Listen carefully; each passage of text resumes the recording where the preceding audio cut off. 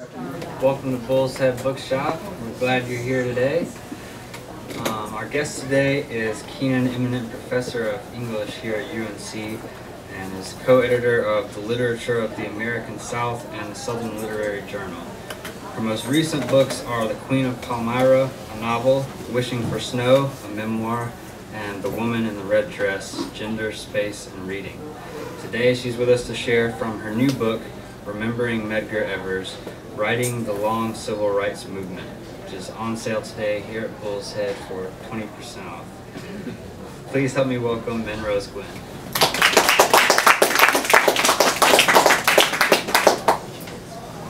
Hi, everybody. Thanks so much for coming. I really appreciate it uh, coming out today. I know there are a lot of things going on, and uh, thanks a lot uh, for being here.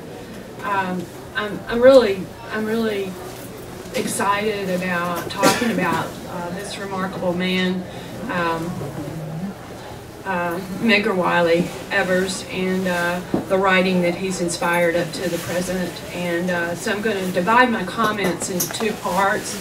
And first, I want to tell you a bit about Medgar Evers, the man, and talk about the implications of his form of activism for us today. Can you hear me back there, Liz? Okay. Uh, how his lifelong but understated struggle for social justice raises large questions about the nature of heroism and leadership and its meaning for us in the present. Um, as Aaron Henry put it in 1964, a year after Evers' assassination, in a very poignant letter entitled Dear Medgar, he says, Medgar, when you fell, you fell forward, covering the full six feet and two inches of your body. You carried us that far down the road to freedom. And then second, uh, I want to acquaint you with some of the writings and songs that have kept Evers' memory alive in an age of forgetfulness.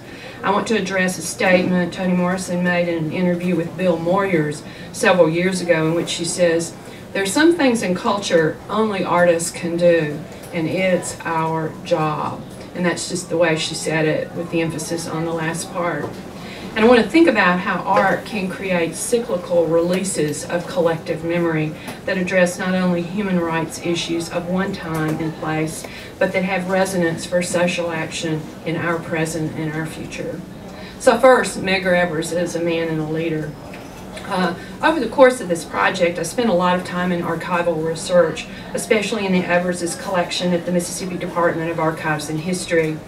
And uh, as I read through poems, memorial flyers like this one, this is a memorial flyer um, uh, for one of the many, many, many hundreds of memorial services across the country for Evers. Um, and scores of, uh, of, thousands of condolence letters Evers' widow Myrlie received after her husband's assassination, all of them moving and many beautifully written. This statement kept popping up.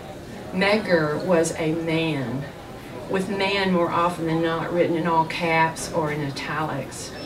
And one literary example of this is Margaret Walker's poem Micah, in which she compares Evers to the vociferous Old Testament prophet. She ends the poem with the line, Micah, meaning, meaning nigger, was a man. Uh, of course, this is an echo of the placards and many, um, that many Southern uh, African American activists um, carried in demonstrations that said, I am a man. But I think it's also a statement about Evers, uh, repeated again and again. Um, and this statement has something to say about the quality of his leadership. Uh, so I want to talk about that um, a bit.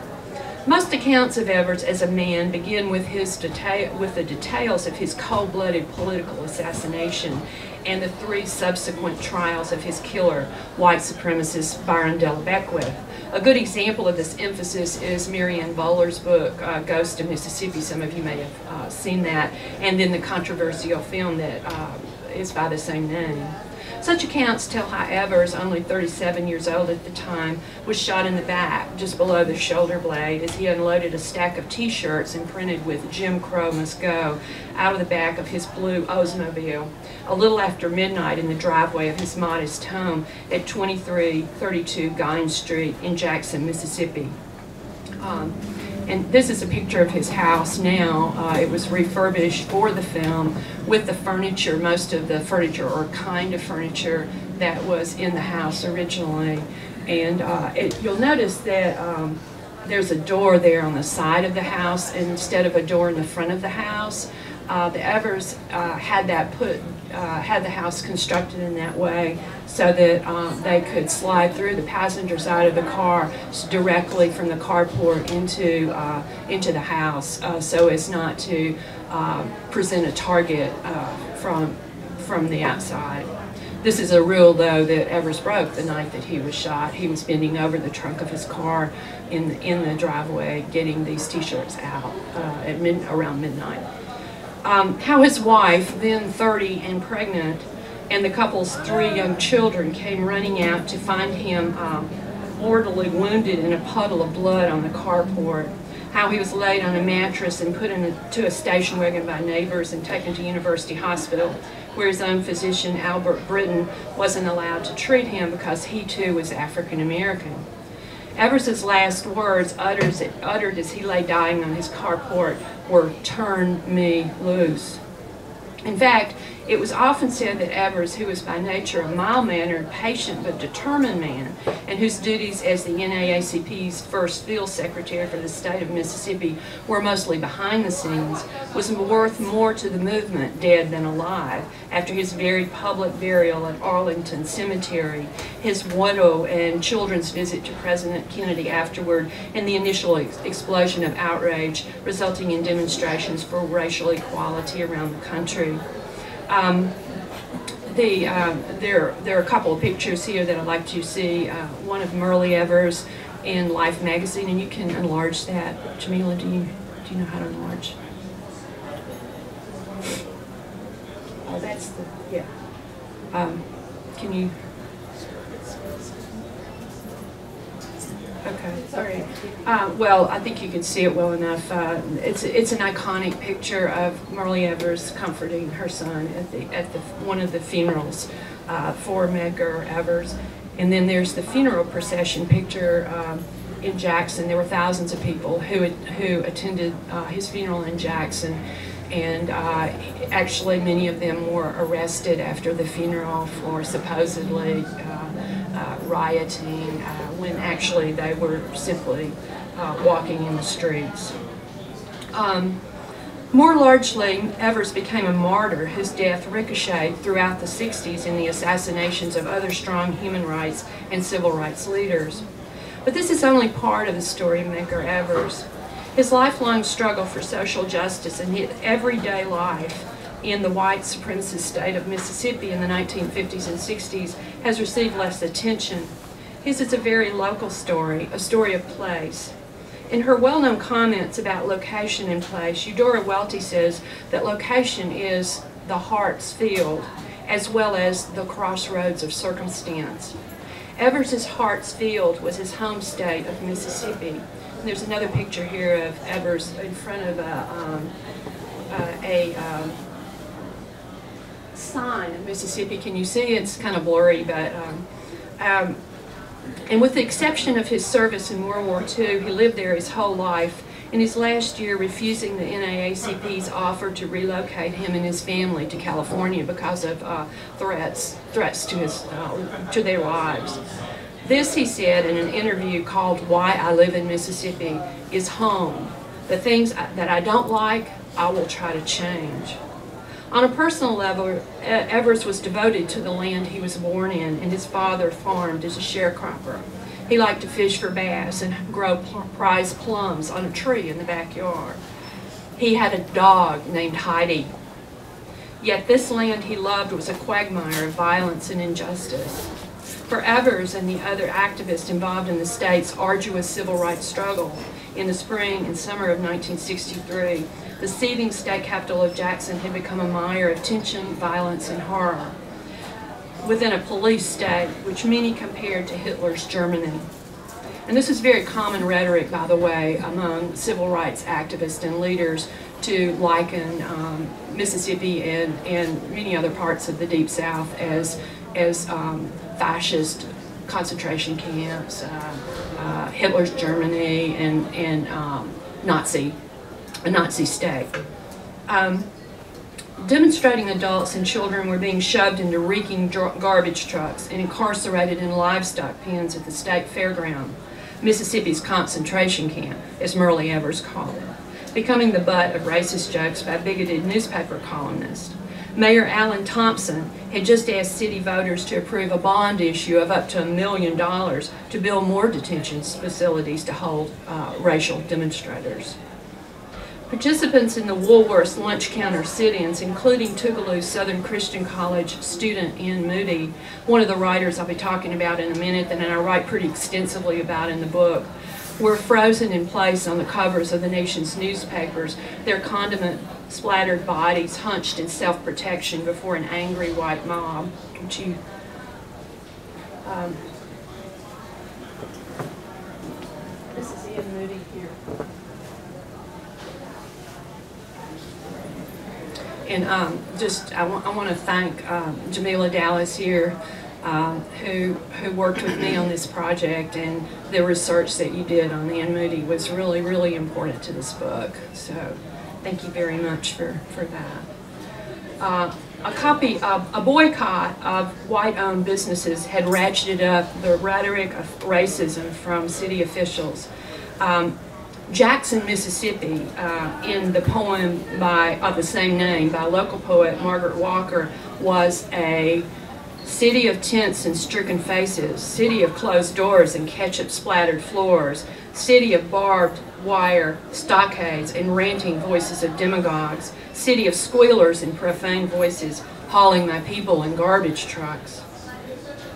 Danger was nothing new for Evers, who put his life on the line for years.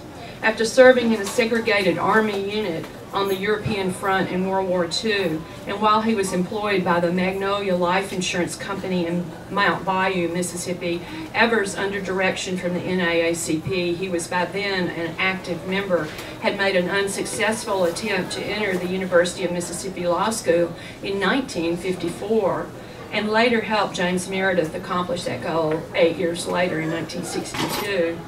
He'd been beaten for refusing to move to the back of a bus in Meridian and arrested for holding leading and holding demonstrations.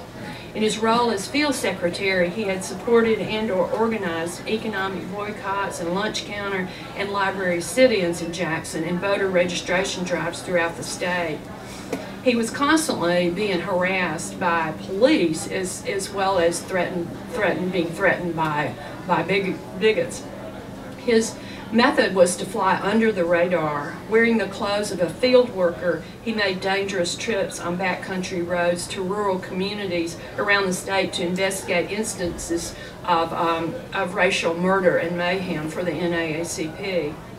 Interestingly, we think of leaders of the civil rights movement oftentimes as marching in the streets and giving dynamic speeches. At least that's the popular, uh, I think, portrait of many leaders of the civil rights movement, and certainly rightly so. But much of Evers's time was spent incognito or behind a desk writing reports to the national organizations and news releases uh, to the press. Uh, and so this is a very uh, important picture for me, this next one. Um, because it shows him with his uh, his his manual typewriter there sitting there and it looks like he has one of those reports in his hands having just pulled it out of the typewriter. He spent a great deal of time uh, doing this and it, he was actually, uh, he, I, I'm going to say this in a minute so I won't say it too strongly here, but he was actually an author himself, I think. Um, there's a new book, fairly new, in the past couple of years that came out, um, edited by Manning, Marable. Marable, I'm sorry, I always stumble over that for some reason. Um, Marable and uh, Myrlie Evers Williams. It's called The Autobiography of Medgar Evers. And um, when I saw that, I was kind of in the middle of my project and I thought, the autobiography of Medgar Evers, how could I have missed this?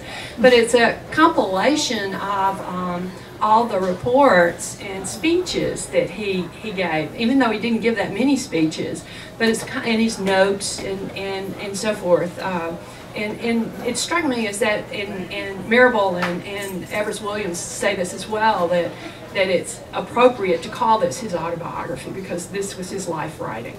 Um, deeply located in place, um, a Mississippi and a South Evers insisted on laying claim to as his and his people. He was a man of what I call plural singularity, in the sense that he was a community member as much as a leader, and a rock-solid worker whose behind-the-scenes tactics inched the Mississippi movement forward incrementally, but sometimes almost imperceptibly. He was a leader without bodyguards or police escorts. He wasn't one for grand speeches, though he could speak eloquently um, on occasion when he decided he was going to write a speech. He was more often than not alone in dangerous situations. He blended in, standing alongside the people even as he led. At home, he answered his phone and patiently argued with racist crackpots on the other end of the line, much to his wife's consternation. Um, and uh, just to uh, want to give you a little bit about the situation in the Evers home. Um, when they would come in at night, um, they would um, sit on the floor uh, and instead of sitting in chairs and, and on the sofa in the living room because uh, they were afraid of drive-by shootings and there had been fire bombs thrown into the house and so forth, into the carport, not into the house. Um, and um, they had they put the refrigerator up against the back wall, uh, the back door of the house, so that uh, that that door would be barricaded. Uh, they had instructed their children at the, at the sign of anything to drop to the floor, crawl down the hall to the bathroom, and get in the tub. Um, and Myrlie Evers, in her autobiography, For Us the Living, says uh, on the night before Evers died, we just sat there on the floor and held each other and cried. So in a state where almost all the newspapers, including the black-owned uh, Jackson Advocate, were in lockstep with institutions of oppression, Evers not only cultivated reporters from other places and seems to have thought of himself as an underground resistance fighter through his own investigative narratives of injustice. He also started the weekly uh, Mississippi Free Press with its masthead, The Truth Shall Make You Free. And I just wanted to show you some of these, the headlines of some of these newspapers. This is the white-owned Clarion Ledger. It and the Afternoon uh, Daily in Jackson uh, were owned by the uh, notorious Hederman brothers who uh, were members of the White Citizens Council and probably also um, KKK. Um, you'll notice that uh, this is this is the um, paper that came out when um, Beckwith was arrested. Both of the pictures there are of Beckwith. He's very nattily dressed. He seems relaxed. Um, and um, the interesting part about this for me was their assertion that uh, Beckwith was a Californian. Uh, Beckwith was born in California, but he actually lived almost all of his life in Mississippi and came from an old Greenwood, Mississippi family. So, uh, and at the time was a fertilizer salesman in Greenwood. So uh, he certainly was not a Californian at all. Uh, of course, the the um, the word on the street was always, oh, those outside agitators are coming in here and stirring up trouble. And uh, so they wanted to depict uh, Beckwith as an outside agitator in that sense. Would you hit it again? Okay, this is the Jackson Advocate. This is a this is a fascinating newspaper for me. This was the most interesting newspaper that I looked at. Um, it was it, it had a whole lot of news in it about um, Africa, about um, other parts of the country, and so forth. The editor, Percy Greene, though, was um, he was a uh, he he was against everything that Evers was for in terms of specific goals, segregation, uh, he integration. Um, he was he he never even wrote a um, newspaper um, editorial about Evers's death. And he also, um, he published for the White Citizens Council and the Mississippi Sovereignty Commission uh, some of their flyers and, and news news bulletins and so forth and so on. Uh, and but the Jackson Advocate presented news of the outside world for for blacks worldwide. So it, it was an interesting interesting here. Um, and you'll notice it, although the masthead says that Evers is shot to death, um, the story itself is buried down here. And this is, this, this part that you see is the only part that's on the front page. It's jumped all the way to, to the back page uh, after that. So it's, it's a, it's a, uh, it's interesting, it's an interesting uh, publication to look at. And scholars of, of journalism and communications have really scratched their heads over Percy Greene and what he was thinking. Um, and then there's the Mississippi Free Press, a diminutive tabloid Evers and um, other civil rights uh, activists um, published. So this is a picture of uh, Beckwith um, uh, uh, on the front page of it as well. Um, as Myrlie Evers would later write in her memoir for Us the Living, he placed himself between the wounded, the beaten, the frightened, the threatened, the assaulted, and the white racist society that invariably had its way, everything its way. Would you hit another slide, please? He investigated, filed complaints, is, issued angry denunciations, literally dragged reporters to the scenes of crimes, fought back with press releases, close quotes. These writings of his indicate that he himself was a storyteller whose outrage boiled up off the page as he recounted the struggles and persecutions of his people. And again, I think this picture is very telling. Uh, it's very fuzzy, as you can see. I found it um, in, in a pile of other fuzzy pictures. But what he's what he's really doing is these are young demonstrators, and he's talking to them to try to get. Um, one of his jobs was to try to bail these young people out of jail. The NAACP would send the bail money down, and he would, then he would uh, he would try to go down and bail all these these young people out of jail, and um, and so he's and there's some more uh, of these demonstrators, young demonstrators, standing um, behind them. But he's talking to the man with the bandage uh, and probably asking him, you know, what happened to you? Tell me about it. Hearing and hearing and retelling testimonial stories of violence, he set the gold standard for accuracy and fullness of memory in the face of willful forgetting or misremembering. He took pictures of mutilated bodies, including that of 14-year-old Emmett Till, and he called news reporters in the middle of the night to alert them to crime scenes.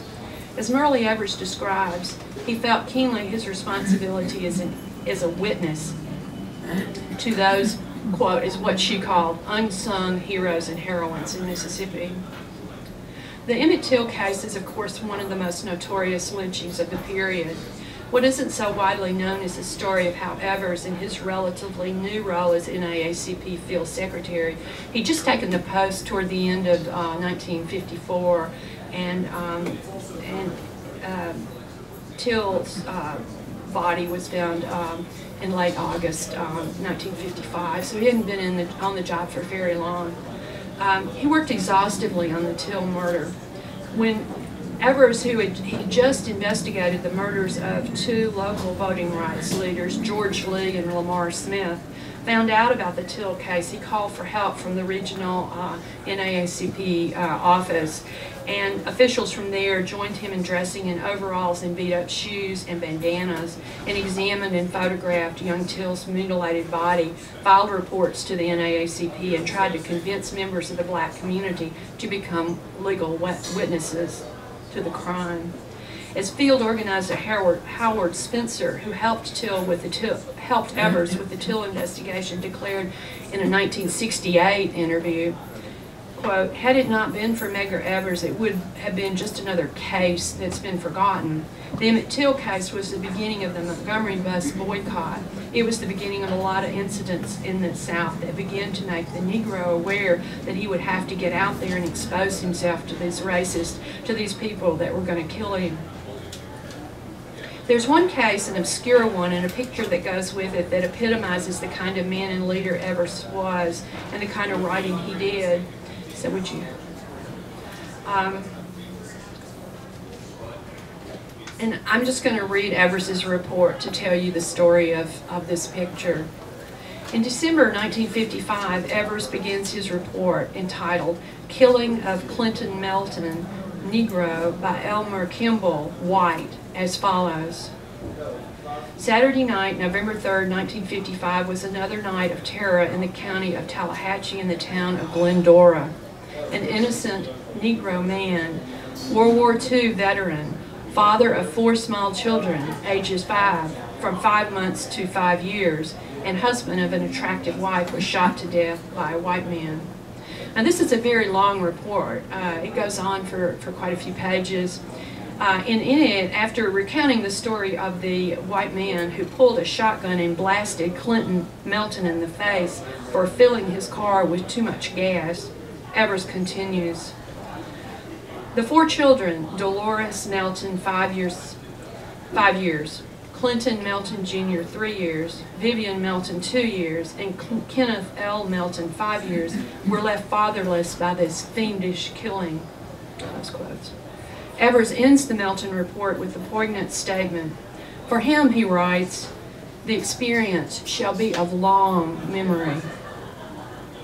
Historians Renee Romano and Leigh Raiford have observed that civil rights history more often than not has been rendered in terms of exceptional individual action in the moment rather than long-term community activism, that the long and exhaustingly hard work of local organizing and everyday jeopardy and sacrifice, the kind of work Medgar Evers was known for, hasn't been fully narrated as part of the civil rights past. At bottom, Evers believed in collective action on the local level. He was a mediator between local activists, many young, like the ones you just saw pictures of, and the more conservative national NAACP office. He wanted leaders of other civil rights organizations like Dr. Martin Luther King Jr. Of the Southern Christian Leadership Conference to come into Mississippi and help out, while the national office did not.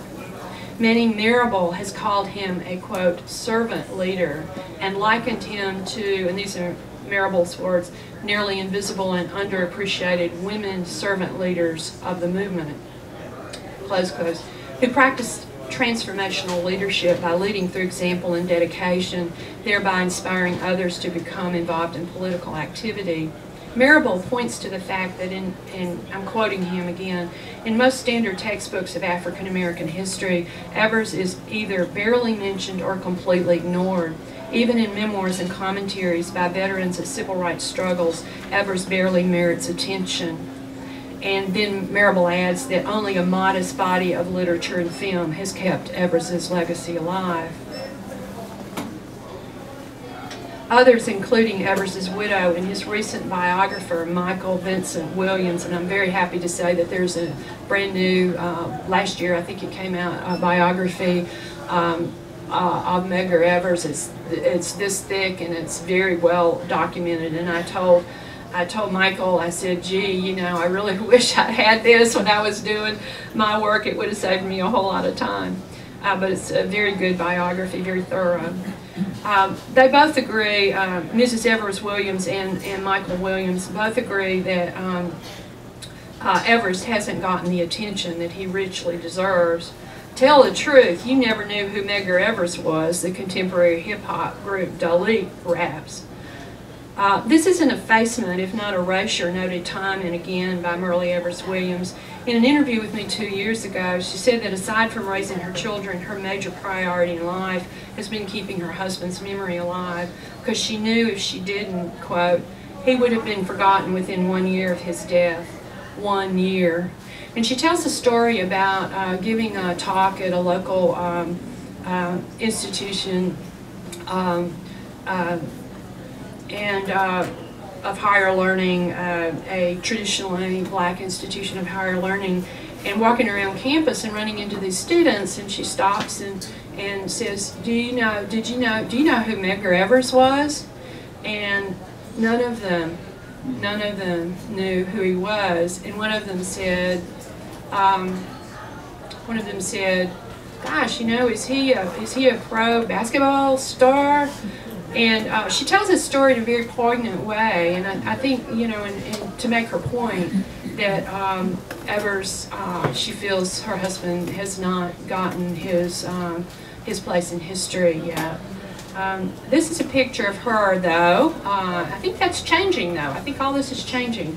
Um, and um, this is the uh, U.S. Navy ship, uh, the Medgar Evers, which was um, christened by her uh, last year. And uh, these are her surviving children behind her. So um, I think I think uh, things are, are changing, hopefully. So how indeed should we remember Medgar as the one in the many, and where should such remembrance lead? Uh, Evers's legacy also turns us to resonant questions about what Jacquelyn Hall and other uh, historians of the civil rights movement, civil rights movement have envisioned as a longer, harder civil rights movement, a more complex, ongoing movement that reaches up into our present and our imaginings of the future.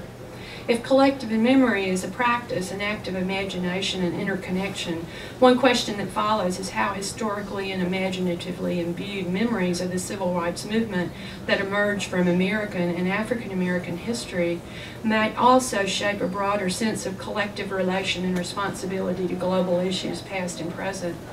Many of our civil rights leaders of the 1950s and 60s, interestingly, including in, in including Evers, interestingly, um, have um, had an, an expansive sense of the power and scope of the movement. Um, Evers himself was deeply influenced in early manhood by the African freedom struggles. Um, they understood they were living in a remarkable and transnational historical moment of alternative political imagination. In our own times, how we remember the civil rights movement in all its complexity casts light on other human rights struggles and failures and helps us see them in their particularity as part of a larger whole. In this sense, the concept of an ongoing civil rights struggle illustrates Kelly Oliver's belief that, quote, we need to find the conditions of the possibility for justice, for the impossible to become possible in the future, in the past. So remembered, um, Evers' lifelong struggle for justice pivots us to the future, linking us to these other struggles, both local and global, and helping us to see them as part of a longer, larger, more complex history of human rights struggles. This is why his legacy matters, or at least one important reason why his legacy matters. As the closing lines of Gwendolyn Brooks' poem Medgar Evers put it, roaring no rapt Araji to the dead, he leaned across tomorrow People said he was holding clear globes in his hands. It's been a half century since Medgar Evers died on his driveway. One way that he leans across tomorrow is in the substantial body of aesthetic production uh, that have that has reflected on and memorialized his life and death. Um, and this memory work, I think, uh, is, is really complicated in some ways. Um, um, and I'm interested in the relationship in the book. I, I, I, do a good bit of writing on this about the relationship between artistic production, history, and memory, and how complicated it is. And just for an example, um, would you? Um, this is uh, some of you have seen this picture in my office. It's by Jackson, Mississippi folk artist Carl Dixon, and um, this is a wooden portrait of Evers. Carl Dixon carves his pictures, figures of African American heroes from memory, but that memory is fed by other aesthetic objects of memory parades, sculpture, photographs, stories. Um, and you'll notice, you know, just by looking at the pictures of Evers and looking at this picture, that uh, this picture doesn't look a whole lot like Evers. Um, in Dixon's hands, then, uh, memory is chiseled into stone. Um, he didn't take a photograph, you know, and, and, and this is from this is from memory. Uh, in the hands of um, uh, the writers whose work I discuss in the book, historical memory becomes story in this in this uh, similar kinds of way, and um, and memory becomes. Uh, uh, moves into other works of imagination, it flows out into these other works of imagination. So in a sense, it's self-perpetuating. Um, so what I uh, argue in the book is that uh, historical memory needs writers and artists and musicians. Aesthetic labor is made necessary because the traumatic past doesn't just vanish from the individual or collective or national psyche. Even if forgotten, especially if forgotten, it still haunts us.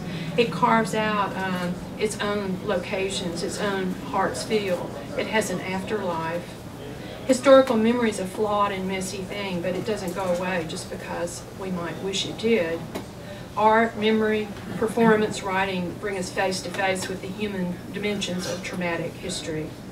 The civil rights movement of Evers's time is a story of triumph and a story of trauma.